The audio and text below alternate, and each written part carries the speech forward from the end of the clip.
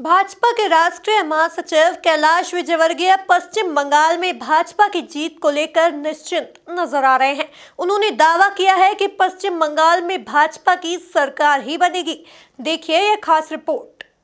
पश्चिम बंगाल में चुनाव को लेकर भाजपा के राष्ट्रीय महासचिव कैलाश विजयवर्गीय ने बड़ा बयान दिया है। उन्होंने दावा किया है कि पश्चिम बंगाल में भाजपा की सरकार बनेगी।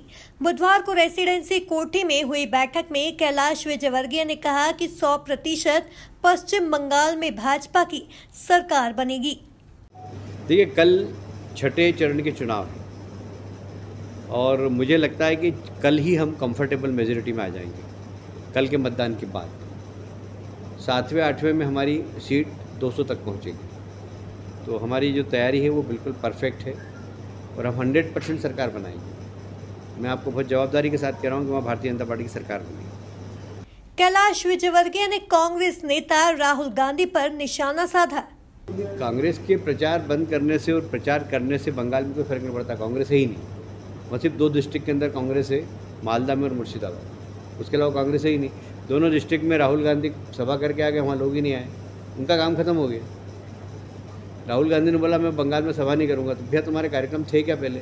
ये तो बताओ कि तुम्हारा ये शेड्यूल था और मैंने कैंसिल किया। कोई शेड्यूल ही नहीं था। दो ज़िले में कांग्रेस ने वहाँ, दो जिलों में सभा कर दी। उसके बाद उनके पास कोई काम ही नहीं था। देखा जाए तो कैलाश विजयवर्गीय के इस बड़े बयान के बाद राजनीतिक गलियारों में भी हलचल मचा दी है। Bureau report MP news Indore.